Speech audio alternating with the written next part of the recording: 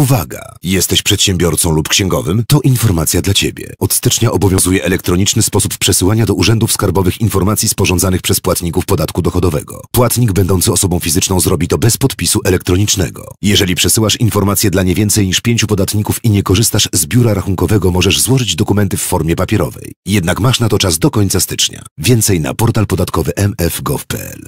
Kampania Ministerstwa Finansów współfinansowana ze środków Unii Europejskiej w ramach POIG.